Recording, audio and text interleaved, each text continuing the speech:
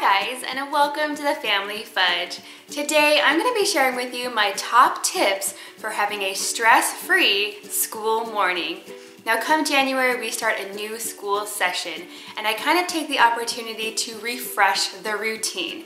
So that's exactly what I'm gonna share with you today. I'm gonna share with you what we do to get ready the night before, what we say for the morning, and some rules that I'm hoping to enforce. And hopefully they'll help us stay on track and get out the door on time. Okay guys, now before we get started, I'm super excited to be partnering with General Mills on today's video. So it's definitely going to be a twofer. I'm gonna share with you my tips to have a stress-free morning, what our new routine's going to be, but I'm also gonna share with you information about the new Box Top for Education app that you can use to help raise money for your local schools. Before I get started on tip number one, I want you guys to keep these things in mind when it comes to schedules and routines. Keep it simple and keep it realistic. I know for me, I can make schedules and routines all day long. I have no trouble making the routine, but following it is another story. I know I need to be more consistent, and I also know that if I make it realistic, that'll make it easier for me to stick to, so keep that in mind. Also, everyone's schedule is going to be different depending on how many kids you have, what kind of school they go to, and where it's located, things like that. I'm just sharing what my plan is to hopefully help you guys out there if you're looking for some tips. And number three, don't be afraid to change your schedule or routine if it's not working. I always look forward to the new school session because it gives me a chance to refresh it. So that's what we're doing. We're gonna try it out, and if it doesn't work, we'll try something else. So tip number one has to do with clothes. Now thankfully my kids aren't really picky about what they wear, but our problem is that we need to get our clothes ready the night before. This is a big issue because there have been times literally five minutes for, before we're supposed to head out the door where we're still searching for someone's jacket because we've left it in the car or for instance, I forgot to put the clothes in the dryer, so all the clothes are still wet and now stinky, things like that. So if you can get your clothes ready the night before. It's going to make your mornings so much better. Here's what I like to do. Last year, I actually set up a laundry filing system, and I have a separate video on this if you'd like to check it out, but I know we have a lot of new friends here, so I'll go ahead and mention it anyway. But I just use these plastic bins that are made for scrapbooking supplies, and I have one for each day of the week except Sunday for each child. So when it's laundry day, I will wash and dry the clothes and then I'll actually file an outfit in each drawer for each child. That way, Monday through Saturday, their clothes are already picked out and ready to go. All they have to do is go to the closet and pick out the clothes for that day and hopefully dress themselves. Now, if you don't have a clothes filing system like mine, don't worry. There's a lot of different ways you can organize your clothes. But you can also just start off small by putting out one day's worth of clothes. You could put it on the dresser, you could hang it on the edge of your bed, maybe just put it on a hanger with a little label, something like that. Just to make it easier to find, it's already picked out and you're not doing that in the morning. Tip number two is to create a launching pad. Have you guys ever heard of this?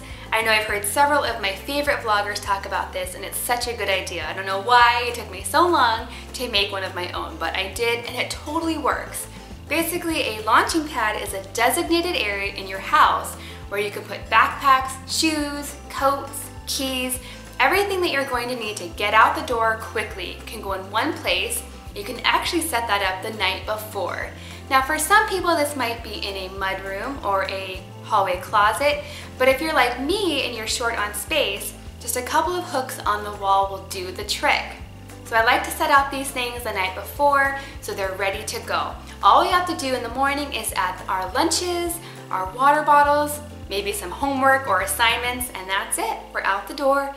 We don't have to search for these things. They're ready to go. Tip number three has to do with meal prep, which can definitely take a lot of time in the morning if you're making breakfast and lunch for four people. Now, if you've been around on my channel for a while, I'll probably already know that I like to make fun lunches for my kids. But you'll also probably know that I'm not usually a morning person because I've stayed up too late the night before, so I don't have a lot of time in the morning to make these lunches and breakfast. So here's what I do. I definitely take some help from the store. On days where I don't have a lot of time, I like to just focus on making one or two special things, like a special sandwich or cutting the fruit and vegetables in a special way, so it's fun for the kids. But to save on time, I will also pair this with some store-bought items. Things that are quick and easy for breakfast and easy to throw in the lunch. Things I know that they like. So this is definitely a win-win for me because not only does it save me time and it's super easy, but a lot of these products are also included in the Box Tops for Education program. I know a lot of moms and dads out there that are already clipping and saving their box tops. Even my kids who attend a charter school can still participate in helping raise money for their school. Now just as a side note you guys, I created a cute little DIY to keep my box tops in. This is an old gum container and I just glued a magnet on the back and put a little decorative sticker on the front. So anytime you get a box top, I can easily just stick it right in there and this can stay, whoop, this can stay on my fridge just like that so they don't get lost. And now there's actually an app that you can use to make it even easier to raise more money for your school. It's called the Box Tops for Education Program Bonus App. Now FYI you guys, this is a free app, so thumbs up for that. First, you just sign in and pick your school. Next, you can scroll through and find offers that you like, like things that you would normally buy. And then you just add them to your list. Then you just pick up these items on your next shopping trip. Right now through January 31st, if you buy five participating items and you scan your receipt with the app, you can earn an extra $5 for your school. And these are items like Honey Nut Cheerios, Yoplait yogurt, Annie's cheddar bunnies, and so much more. I haven't had any trouble finding these items at my local Walmart, which makes it really convenient to pick them up. You don't have to go to a special store or pay more or anything like that. Now after you make your purchases, all you have to do is scan your receipt. It's just as easy as that. Then through the app, you can actually see how much you're earning for your school. Now keep in mind you guys that this is the bonus app, so you can totally do the traditional box top clipping and saving as well. They go together. And for me, I would probably buy these items anyway, so it's really nice to just take those couple extra steps to help the local schools. It makes me feel good about it. Okay guys, my last tip is about technology, specifically setting up rules and being consistent in enforcing those rules, which I haven't really done very well in the past. But I know for my kids, if the TV's on, if they're using the computer, it's really hard to get ready and stay on task. So I've set up some rules and some boundaries and it's gonna be up to me to make sure that I enforce them consistently. Now my kids are actually pretty tech savvy, so they know how to work the remotes, the computers, the iPads, things like that.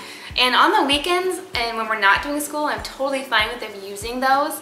But in the mornings, we've decided to have no TV, no computer at all until they're ready. So I actually like to hide the remote, I'll hide the computer so they can't use them or be tempted to use them at all.